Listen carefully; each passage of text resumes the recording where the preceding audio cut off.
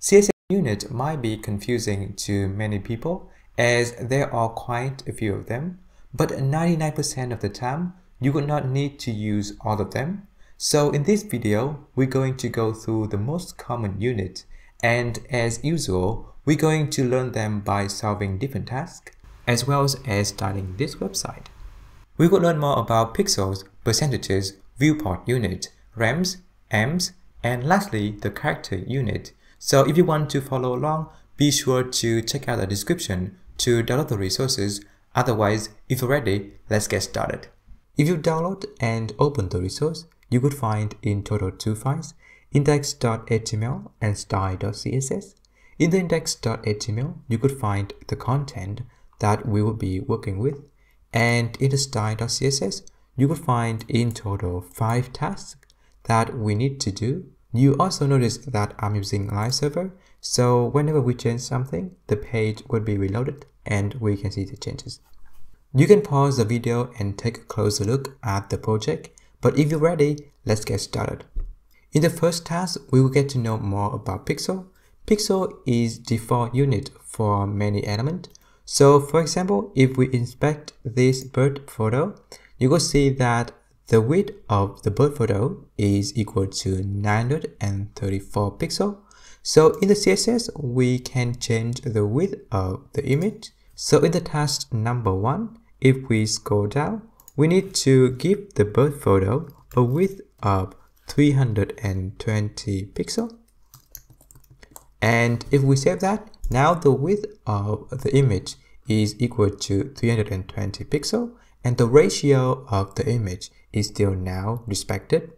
In the task number 1, we also need to give the author photos 40 pixel width and height. So if we scroll down and in the author, we can give width equal to uh, 40 pixel and height equal to 40 pixel. If we save that, now you can see here that the width and the height of the author photo equal to 40 pixel but now the image is distorted. Uh, to fix it, we can use object fit and give it cover value. Alright, now it is fixed. In the task number one, we also need to add 20 pixel padding to the about section. So if we scroll down uh, in the about, we can give it padding equal to 20 pixel. Alright, so now you can see that there's spacing here and here. And we also need to give buttons horizontal padding equal to 16 pixel and vertical padding equal to 24 pixel. So if we scroll down to the button, we can give padding top and bottom equal to 16 pixel and left and right equal to 24 pixel. If we save that, you can see that there is spacing here and here. Alright, in the task 1, the last thing that we need to do is to give heading 32 pixel font size and the paragraph to have 16 pixel font size.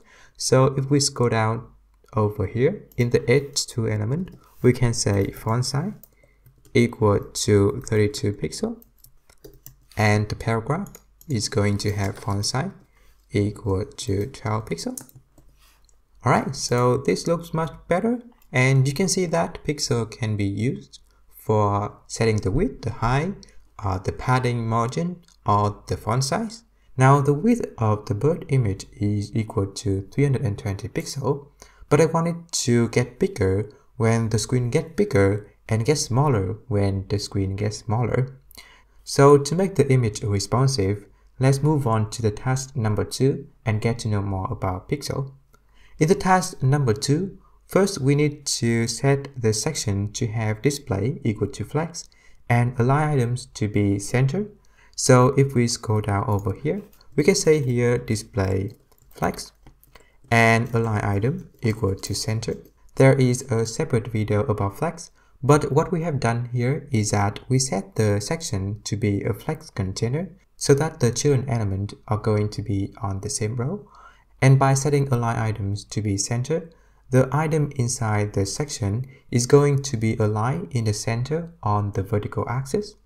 Alright, in the task number 2, we also need to give the bird photos and the side section to have the width of 50%.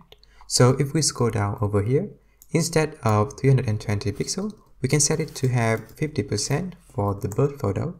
And uh, similarly, we can set the width uh, to be 50% for the size section. And by doing this, the width of the birth photo is going to equal to 50% of its parent width. In our case, it's going to be the section element. So for example, if uh, I set the width of the section equal to, let's say, uh, 500 pixel, and if we save that, the width of the birth photo is now going to equal to 250 pixel. And if we set this to be 50% as well, for example, if we save that, you can see that the width of the section is now equal to 50% of its parent element. In our case, it's going to be the body element. And the width of the bird photo is still equal to 50% of the section. Alright, so let's remove this as it's not the task. Percentage is also used for the border radius. So for the task number 2, we also need to give the author photos to have border radius equal to 50%. So if we scroll down over here in the author, we can give the border radius equal to 50%. So if we notice here and we save that, the square is now going to become the circle. Alright, so that's about percentage and the task number two. Let's move on to the task number three and get to know more about viewport height and viewport width. For the task number 3, we need to give the section height of 100 VH. So if we scroll down over here, and if we say height equal 100 VH, now if we do this, the section height is going to be equal to 100% of the view height. And to visualize it better, let's add height 100% to the bird photo and give it object fit equal to cover as well. And now you see that the section height is going to be 100% of the view height, which is this much. And you can see here as well. So now if I make the height of the window a bit smaller, the height of the section is going to get smaller as well. Alright, so that's about the viewport height. What about viewport width? So for example, in the section, if I set the width equal to 50 view width, now the width of the section is going to equal to 50% of the viewport width, which is this much. And now you might wonder what is the difference between the viewport width and the percentage. One main difference is that with the percentage is going to be relative to the parent element whereas the viewport width and viewport height, they are relative to the viewport. You can see here that the width of the birth photo equal to 50%, which is 50% of the section width. So if I change this to be view width, and if I save that, it's not going to be relative to the section anymore. It's going to be relative to the viewport. Alright, so let's change it back to percentage and let's remove this. And some people also use viewport width to set the font size. So in the task number 3, we also need to give the heading font size equal to 5 viewport width.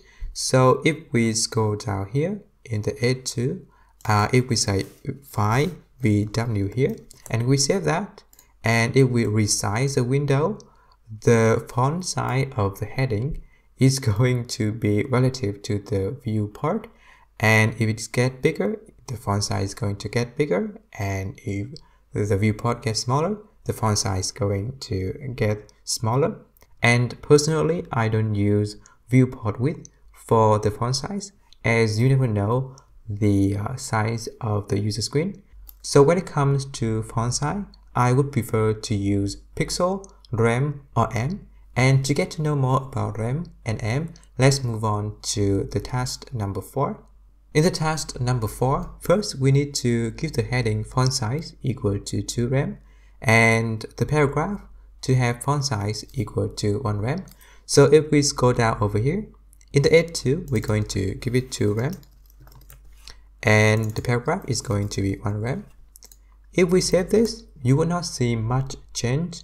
The reason is that 1 rem is equal to 16 pixel for most of the browsers by default and 2 rem is equal to 32 pixel uh, which is 16 pixel multiplied by 2.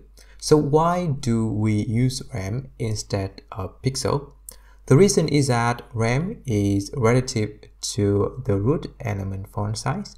So for example, if we give the HTML element uh, font size equal to 20 pixel, and if we save that, and if we inspect the heading, and if we go to compute it, the font size of the heading is now equal to 40 pixel, which is 2 rem, which is 2 times of the font size of the HTML element, in our case, uh, 20 pixel.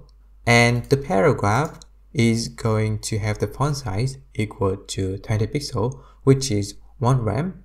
And if you use Chrome, you can go to Setting under Appearance and Customize Font. If we now change this to be 22 and delete the font size in the HTML element and we save that. Now if we inspect the heading, the font size of the heading is now equal to 44 and the font size of the paragraph is equal to 22 so 1 rem is equal to 22 so that is the main reason why we use rem alright so let's change it back to 16 pixel. So we know that rem is relative to the root element. What about em to find out the difference let's say here what if we have 2em instead of 2 rem and here 1em instead of 1 rem. If we save that, again, nothing is going to change. But if we go here in the about, if we set this to have font size equal to 20 pixel and save it, if we inspect the heading, now the font size equal to 40 pixel, which is 2 times font size of the about element, and the paragraph is equal to uh, 20 pixel, which is equal to the font size of the about section. So em is relative to the parent element and is not relative to the root element. So let's say if we give the HTML font size equal to 22 pixel, uh, this is not going to get affected because the about element has the font size equal to 20 pixel. Alright, so I hope you get the idea. So let's delete this and this as well. In the task number 4, we also need to give the button 0.75 rem font size and this padding. So uh, first let's go back here in the button. Uh, let's say font size. Now equal to 0.75 rem. And padding equal to uh, let's go here and copy this and paste it here. So what happened here? We know that 1 rem equal to 16 pixel by default. So let's change it 1 rem for example and if we inspect the button em here is relative to the font size so in this case 1em is equal to 1 rem which is 16 pixel. So for example, if we change it to be 2 rem, if we save that, you can see here that now the padding top and bottom equal to uh, 32 pixel, which is equal to 2 rem. So by using em for the padding, if the font size of the button gets smaller, for example 0.75, the padding is going to get smaller so that the ratio of the button is going to be reserved. Alright, so that's about rem and em. Let's move on to the last task and get to know about CH unit. Now, if we resize the screen to be bigger, the paragraph width is going to get wider and in most cases, we don't want the width of the paragraph to be too wide, so we need to give them some max width and we can use pixel for it. but there is a better unit for this case. So in the task number 5, we need to give the paragraph max width equal to 50 ch. So if we scroll down to the paragraph in here, in here we can say max width equal to 50 ch. Now if we save that, we will not see much of difference unless we make the screen much bigger. So let's change it to 5ch for now. If we save that, now the paragraph has some uh, max width equal to 5ch and how exactly does ch work? 5ch is equal to 5 times width of the zero letter. Now if we go to the index.html and in here if we type in 6 uh, 0 and if we save that and now if we inspect the paragraph you can see that the width is exactly the width of 5 0 so if now we change uh, the uh, font size for example 1.5 rem and if we inspect it again the width is still going to be 5 times the number 0 so now you can see that by using ch no matter the font size the font width or even the font style is going to be relative to the width of the zero character. Alright, so for the task, let's change it back to be 1em here and uh, 50 CH here and let's save that. Alright, so that concludes the exercise. Let's summarize what we have learned. First, pixel. We learned that we can use pixel to set the width and height of boxes and we can also use it to set the font size or the spacing and it is an absolute unit that it does not change based on the screen size. Next, we have percentage. In most case, percentage is going to be relative to the parent element. So in the example, we set the width of the bird photo to be 50%, which means that the width of the bird photo is going to be 50% the width of the parent element, in our case, the section. And we also use it to set the border radius of the author photo to be 50% to make square into circle. And the next topic that we covered was viewport-based unit. In the example, we use it to set the height of the section to be 100% of the viewport height. And we use the viewport width to set the font size of the heading to be 5% of the viewport width. By doing this, the font size of the heading is going to be relative to the viewport width, but when it comes to font size, there are better units like rem and em. In the example, we use rem to set the font size of the heading and paragraph. By default, 1 rem is equal to 16 pixels for most browsers, and rem is relative to the root element font size. And different from rem, em is relative to the font size of the parent element. In the example, we use em to set the padding of the button, that the padding would be relative to the font size of the button. And lastly, we get to know about character unit, ch. In the example, we use ch to set the max width of the paragraph. One ch is equal to the width of the zero character. Alright, so that's it for the video. If you like it, don't forget to subscribe to the channel and check out devchallenges.io for more tutorials. Otherwise, happy coding and see you in the next video. Bye!